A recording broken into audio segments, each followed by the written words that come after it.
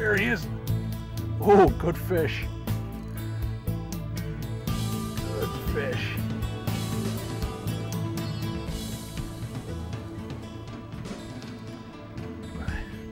Move us out of here with the trolling motor a little bit. Right next to the boat there. Give him a little lift in. Ah. There's a nice one on the drop shot. Today we're going to do a little something different. Stay tuned. It's going to be a good one. Get this guy unhooked.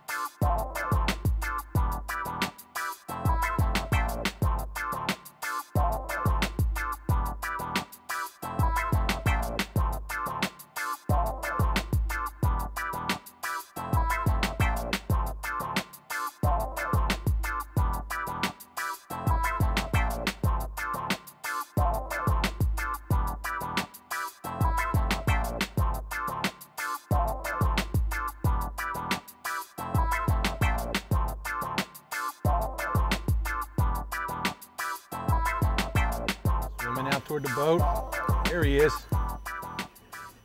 see what we got here. Oh, feels like a good fish.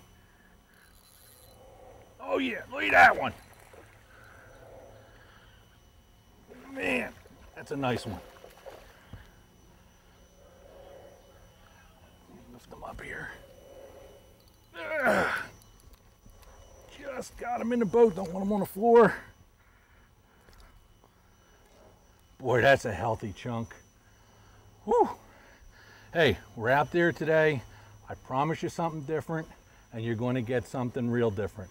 We're going to talk about all the things that go through my mind when I see a spot. I'm going to pick out my baits. I'm going to tell you about them. It's going to be something really different. And I think I'm going to get this fish unhooked. And then, well, let the fishing begin. Now here we are, we're gonna pull up to a shoreline.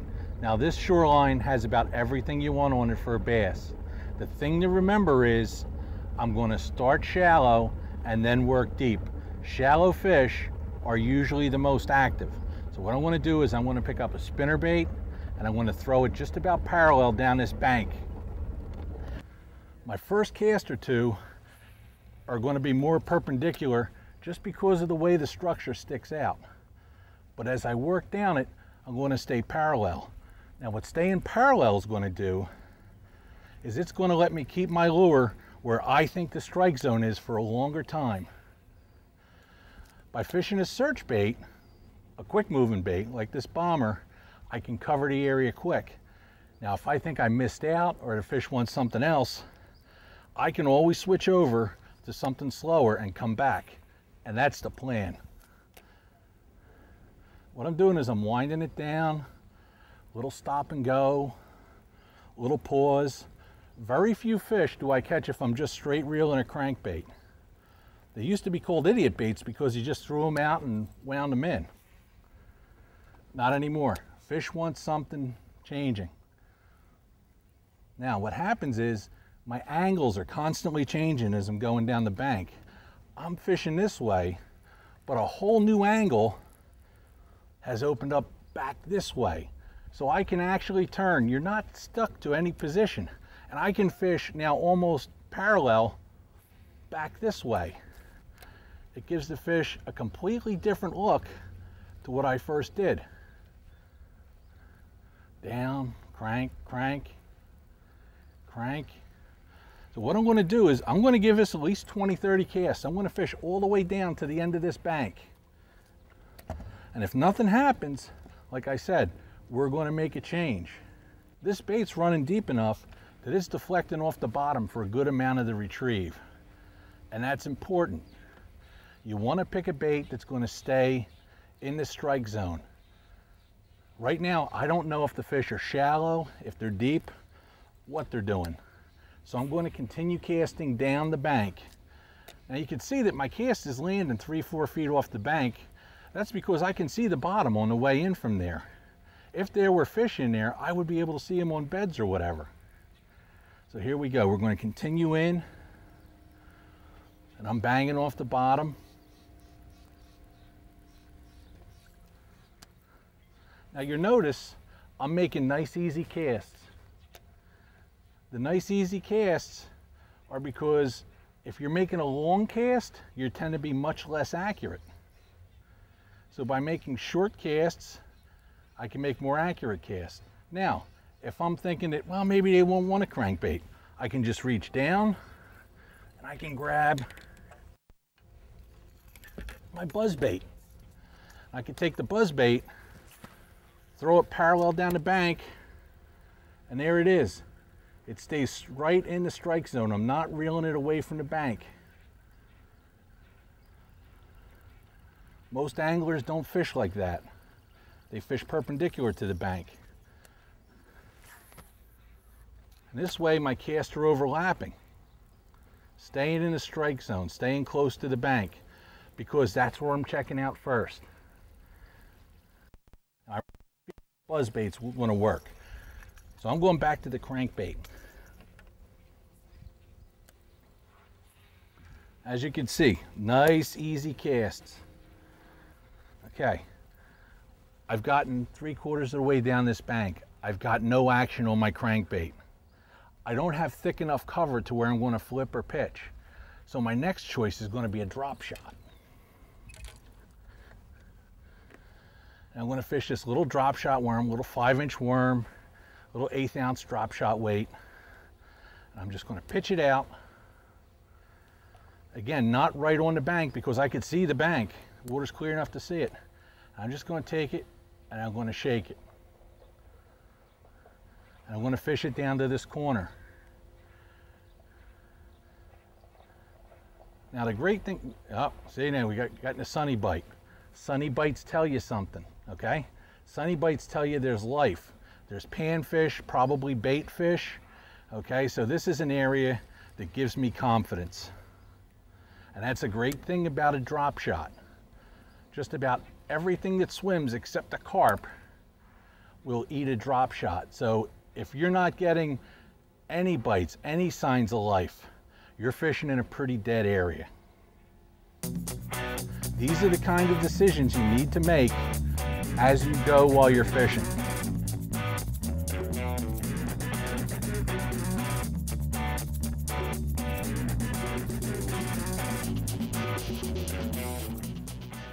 Come to a corner in the bank. Now, not only are we on a corner of the bank, but you have to understand we've got two different areas coming together. We've got the riprap on the bank and we've got the metal wall. Not only do we have two different types of cover together, but this is also the kind of area where wood, when it gets washed in, will lay up in here.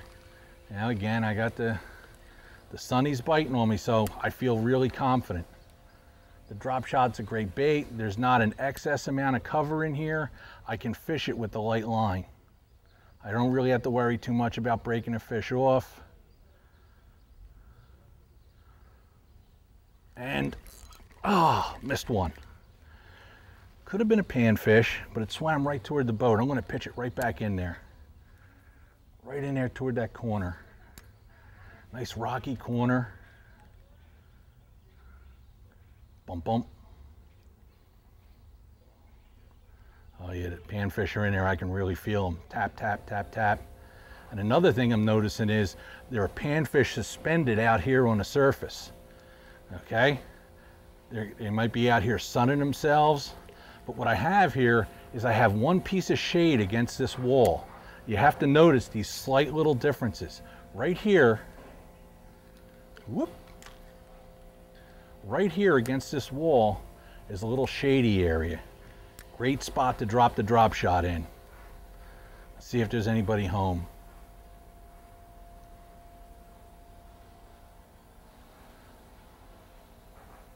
Well, I can tell you there's sunfish home. They're eating it. See, now the sunfish has pulled down the worm. Okay? You can't fish with a worm that's kinked up. You have to keep it straight. Number one, it'll twist. Number two, it's not a natural presentation. Okay, I'm going to move on to the next target here. This next target is down this way. Okay, so as we pan over this way, we have a continuation of this wall. My first cast is going to be a nice short pitch right against the wall.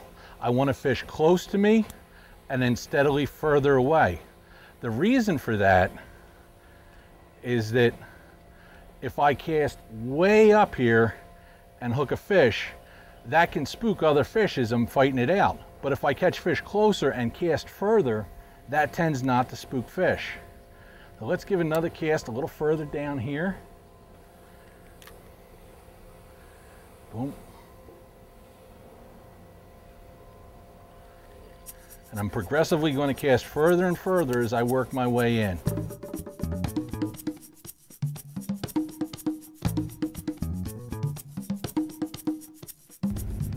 We're on another spot. This spot also has several different types of areas, but the first thing we're going to fish is a steel wall. Now there's a lot of lures that you could choose, but what you really want to use is something that's going to stay close to it, that I can fish almost vertically, and that I can move in and out very quickly. I'm going to pick the drop shot.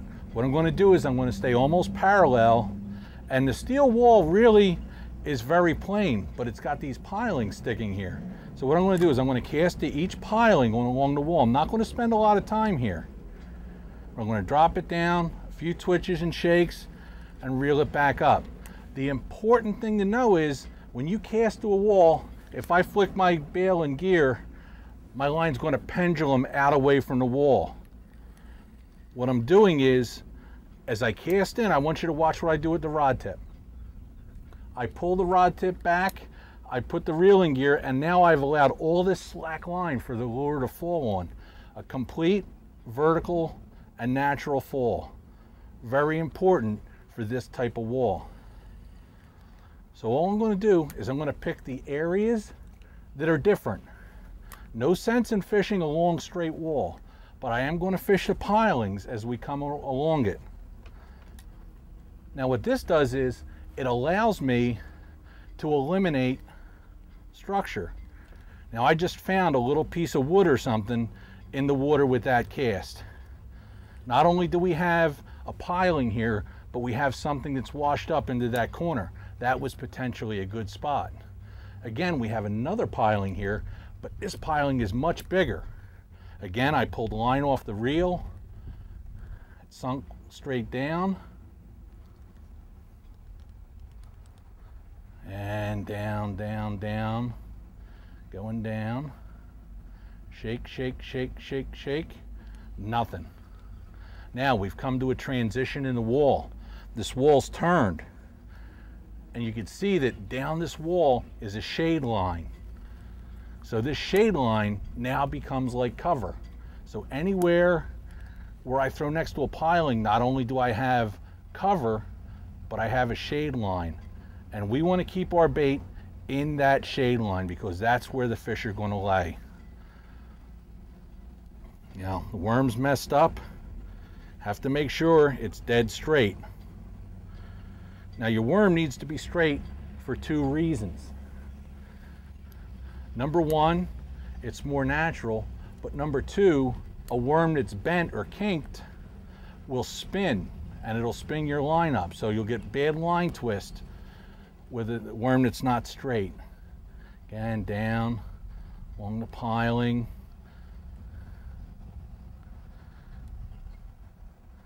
And as we come through here, we're going to come to another transition. This wall's going to end. The end of a wall can be a great spot. Just pitch in there into the corner. Twitch, twitch. Now, when we're fishing a drop shot, okay, watch my rod. I'm really not doing a lot. I'm not hopping it like crazy. I'm not doing a lot of reeling. The wind blowing and just a natural tremor in your hand will work the worm. Coming through some wood. Now as we come down to the bank, the bank flattens out. That means I probably want to switch baits. What I'm going to do is I'm going to pick up a spinner bait. Half ounce white spinner bait, Colorado blades, and a trailer hook. The bank is flatter, so I can cover more water faster. It's also an area that's, that's a little bit more barren of cover. So now, instead of sitting here dragging our worm on dead bottom, we can fish all the little pieces of cover. We can fish through the shade. And then when we get to another area where there's going to be targets, we can go to a slower moving bait. Now the whole time I'm fishing, I'm looking in the water. What am I looking for in the water? I'm looking for the presence of bait fish. I'm looking for a bass cruising. I'm looking for a bass on the bed. I'm looking for I'm looking for a log that might be sticking out. Any one of those things can change the lure I'm fishing in a moment's notice. Fish down the side of this dock.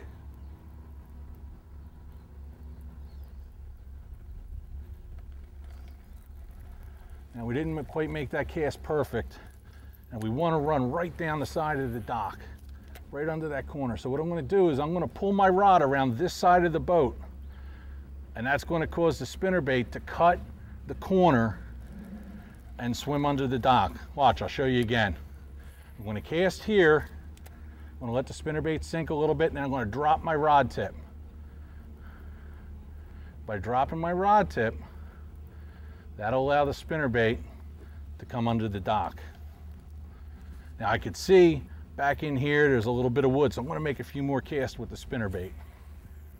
Again, along the dock, boom, boom, boom, Nothing. We just pulled up on this bank. It's a pretty steep little bank, it's a chunk rock bank. The first thing that came into my mind was a crankbait. I can take the crankbait, I can bounce it off the rocks, off the cover, and the nice thing is fish could be tight up against the bank. What I'm gonna do is I'm gonna continue fishing just about parallel. Let's see if this works.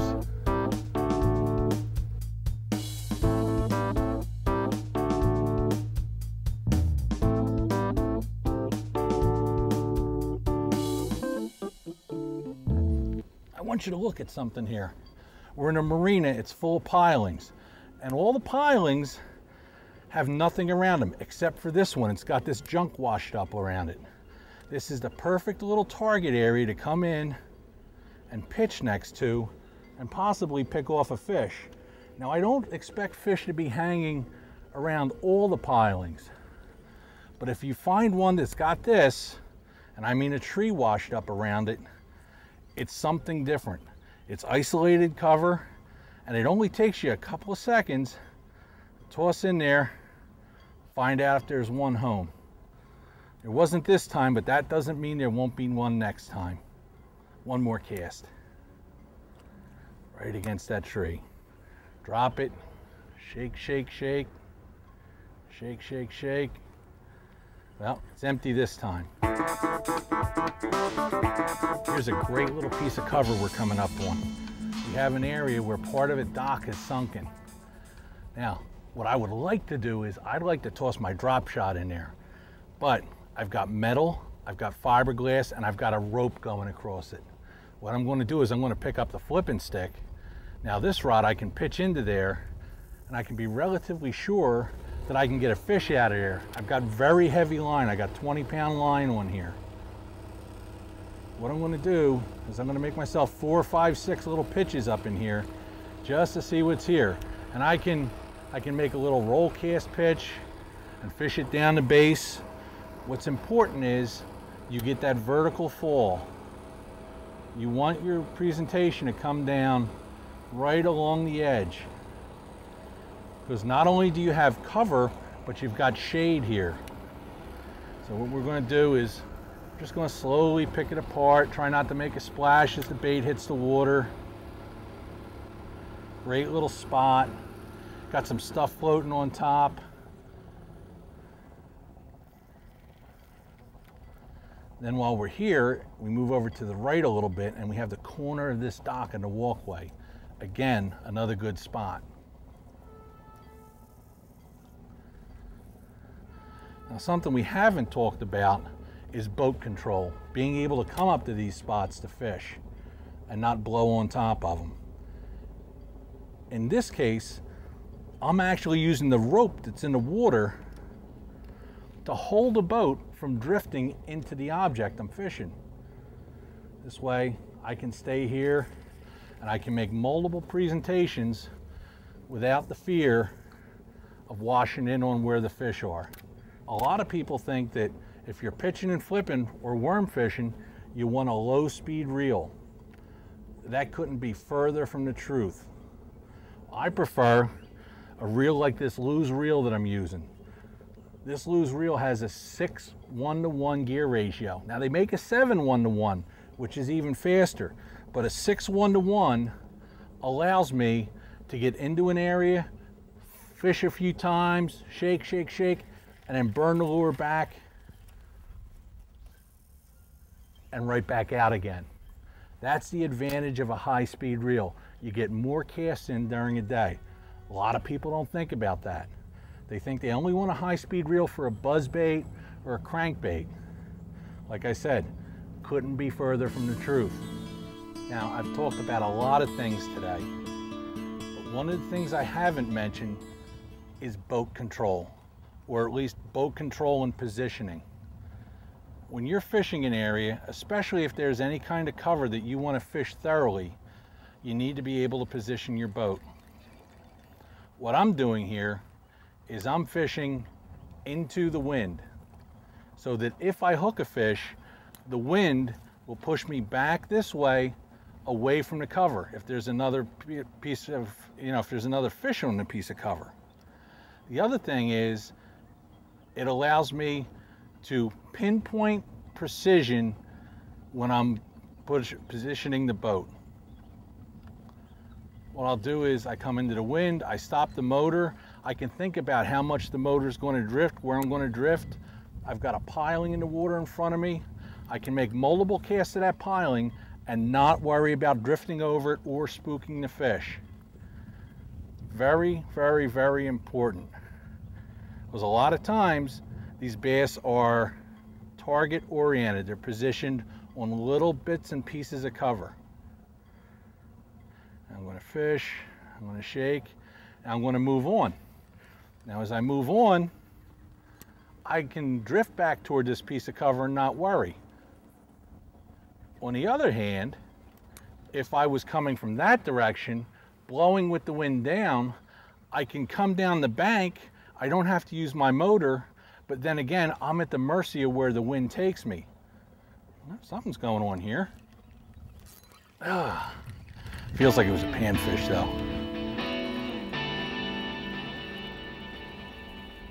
There we go.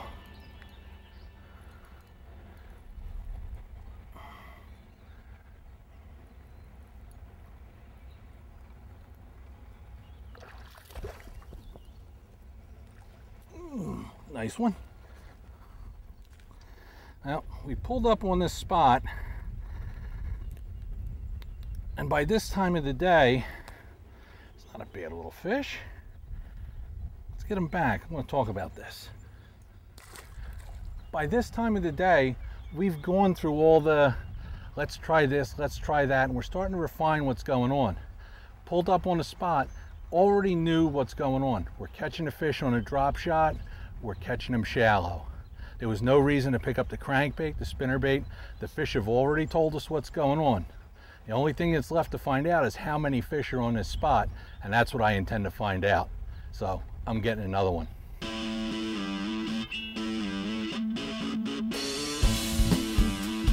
There he is. Oh, it's another good one. Another real good one.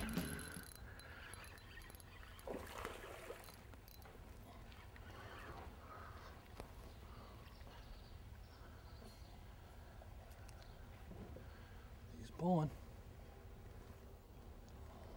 Fight him down pretty good. There we go. Well, I hope I've followed through with what we said today. Nice fish to end the day, different type of show. Hopefully now you know the things that I think about when I'm out on the water, the kind of decisions I make, and all those things that go into trying to be successful. Hey, come out, see us on TV, Facebook, Twitter. You know what? Till next time, I'm Steve Horvath, and I'll see you in the water. Get this guy back.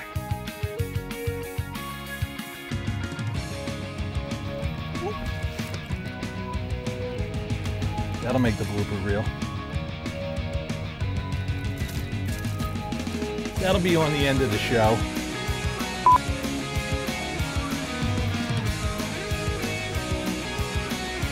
Just a sunny.